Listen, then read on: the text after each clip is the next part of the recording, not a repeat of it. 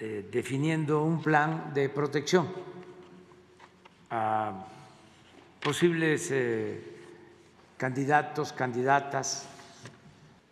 Les puedo adelantar que ya la Secretaría de la Defensa eh, le hizo llegar un planteamiento en ese sentido de protección a la señora Xochitl Galvez, yo lo puedo decir, y a la señora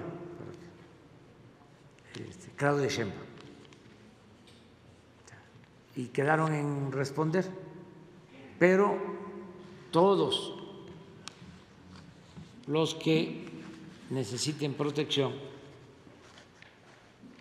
eh, tenemos que garantizarles su protección.